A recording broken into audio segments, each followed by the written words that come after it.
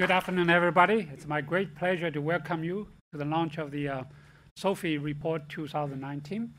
We actually have had some traditions hosting the launch of the SOFI for a couple of times.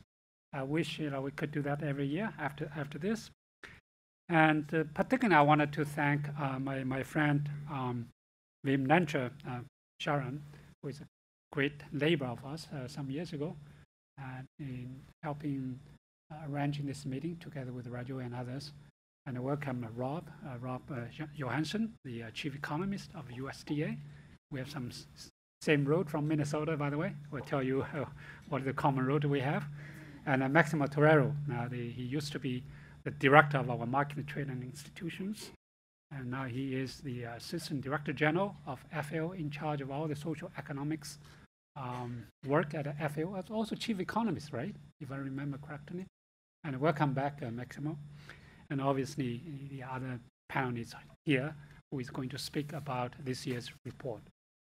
I think for 2018, I think the latest number FAO and other uh, institutions have come together really shows that the poverty, the hunger, hunger. So for 29, uh, for 2018, the latest number we have, we have seen persistent hunger uh, around the globe. More than 200, more than 820 million people still suffer from hunger. And this is three years in a row of rising. Uh, so it's a serious situation. Looks like people cannot hear me. Anyway, so I will continue. The, um, but the, not just the hunger, the other forms of malnutrition, uh, lack of micronutrients, uh, obesity, overweight, and so on. Uh, if I read the, the, the report correctly, it basically 2 billion people suffer from various forms of malnutrition. Now, why, why we had this problem?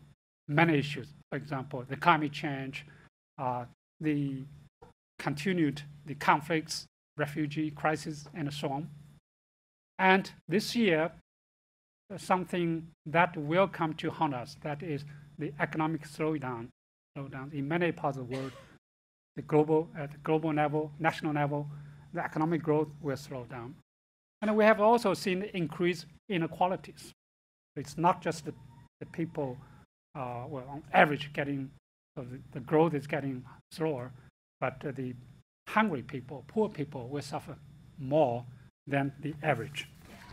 Now, um, well, obviously, IFPRI continued to uh, work with others to end hunger and malnutrition.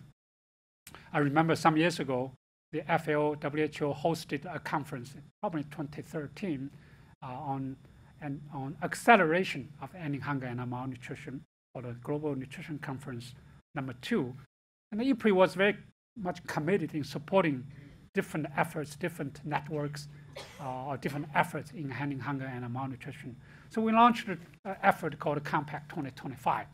The purpose of that compact is to help anybody in the world to use knowledge, data, information to drive the effort in ending hunger and malnutrition. I think my personal belief is if, if we wanted to achieve all the SDG goals by 2030, we must end hunger and malnutrition first, maybe even before 2030. Let's say 2025. So that's why we use Compact 2025. So once again, welcome.